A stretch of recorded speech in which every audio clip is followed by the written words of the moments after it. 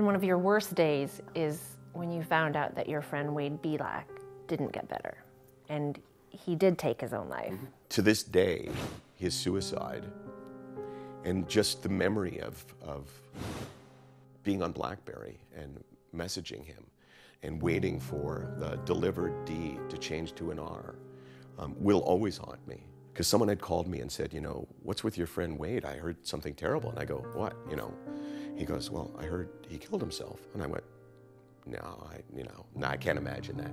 And I called him and the phone rang and it rang and it rang. And it was like this, there was this, this feeling after about four or five rings. Um, this isn't good. It, it haunts me a lot. And uh, I just, uh, I see the, the aftermath of suicide. Um, I talk to his parents on a reasonably regular basis. And um, there's no there's no coming back from that. When you lose someone to suicide, it uh, it's beyond painful. Wade lost his battle with depression on August 31st, 2011. He and Michael confided in each other their struggles with the disease. Let's talk about depression in your case. You've experienced it. Mm-hmm. You went through it. Still you am. talk about it. You, you still are at times. Um, what's that like? What were your symptoms? How do you recognize it? Number one, when you wake up in the morning, you know, you know that you will experience no joy in the day. It's not like you're thinking, well, I got a bad day ahead. It's not that. You know that because you do not have the ability to experience joy. Fundamentally, that's what depression for me is the inability to experience joy. Number two, if you took my biggest problem in my life and said, I'm going to solve that for you, if it was money, say, and you said, I'm going to give you $5 million, I would know in my head that was a good thing, but I would not be able to experience any satisfaction from it. And number three, wherever I am, I want to be someplace else. If I was having a bad day today, I would have been dreading this interview. i I'd be sitting here with you thinking, I cannot wait for her to go. Not because I don't like being with you.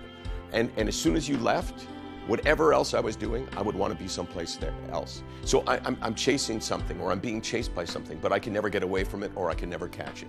At its most severe, did you ever feel suicidal? I got to the point where if you would have told me in 2008, in the fall, the week of the Grey Cup, in Montreal, in my hotel room at 4 o'clock in the morning, if you would have told me then that what I'm feeling right then, I would experience the rest of my life, that there was no treatment, I would have killed myself.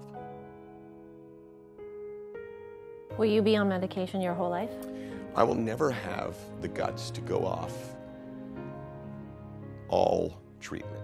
Meaning, if you could offer me a better treatment, I might try it. Do I like being on medication? No. Do I hate being on medication? Yes. Do I fear the medication? Yes. But do I hate the illness more? Yes. Do I fear the illness more? Yes.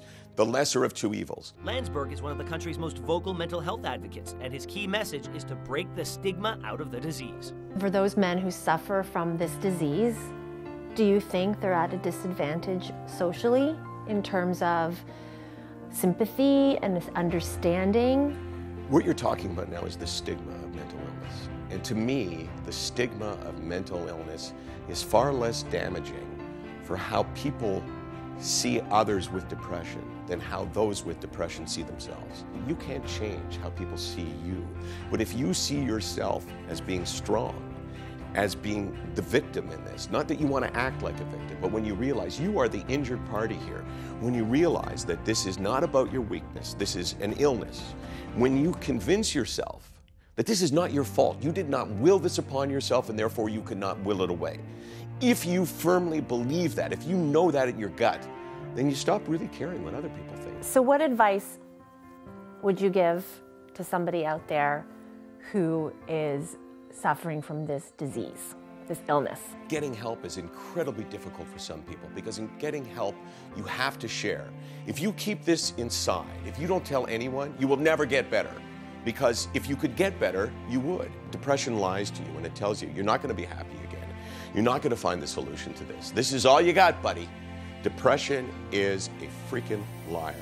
And you can only shut it up by one way, and that's by dealing with it.